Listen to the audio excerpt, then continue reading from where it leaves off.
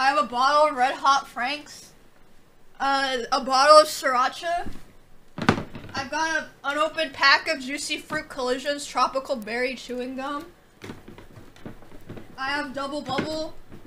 Um, a gun. Oh, wait! Never mind.